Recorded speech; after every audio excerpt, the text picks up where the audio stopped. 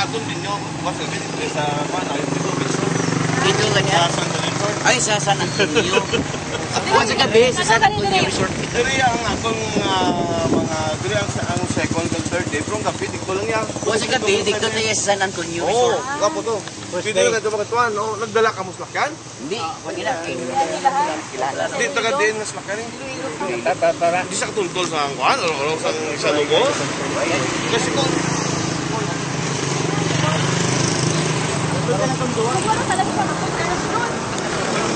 At least sila sila na namakot.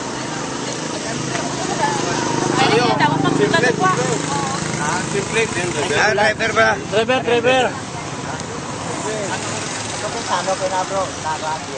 Ah, nagyano na. Nagyano na.